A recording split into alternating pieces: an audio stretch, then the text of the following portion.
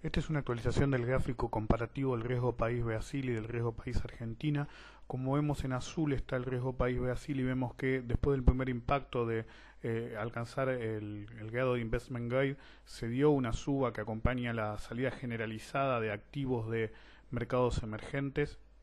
eh, igual de todos modos vemos que hace un tiempo habíamos mencionado que desde el máximo de la zona de 600 nosotros preveíamos una corrección del riesgo país, lo que implicaba una suba del mercado de bonos, como vemos aquí, pero nuestro objetivo era la zona de soporte de 500 del riesgo país, que finalmente eh, se quedó bastante corto, ya que el recrudecimiento de la crisis del campo en particular y de las perspectivas negativas sobre Argentina hicieron que nuevamente se disparara el riesgo país. Y lo importante que nos hace hacer esta actualización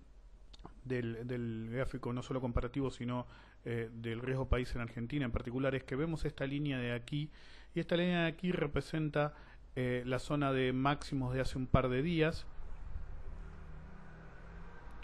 Y si tenemos en cuenta esa zona de máximos como vemos la tendencia de los últimos tiempos fue claramente alcista pero había hecho una pausa. Y esta línea básicamente lo que nos indica es algo muy importante. Si vemos el agregado es decir en mayor tiempo Eh, estamos viendo que esta línea básicamente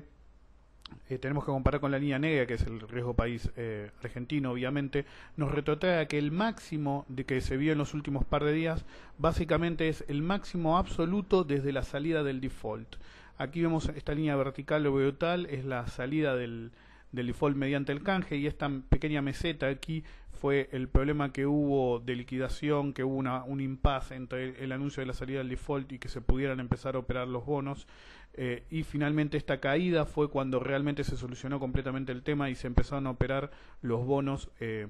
eh, en una forma periódica. Ya se anuló el mercado de gris en esta zona y se empezó a operar realmente. Esta línea representa los máximos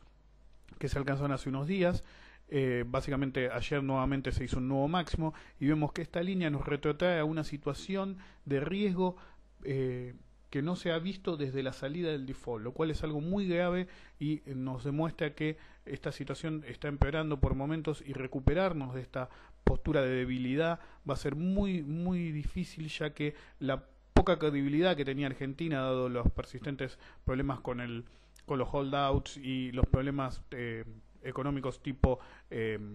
números del INDEC que no eran confiables, etcétera, se agravó con el agravamiento de la crisis del campo, ya que el agravamiento de la crisis del campo, básicamente en una época que nosotros deberíamos tener beneficios extremos, dado la positiva coyuntura económica, se está desaprovechando en una forma eh, brutal por un capricho del gobierno. Por esa razón, va a ser muy difícil recuperar la confianza de los inversores extranjeros para que se dé una baja sostenida del riesgo país en el corto plazo.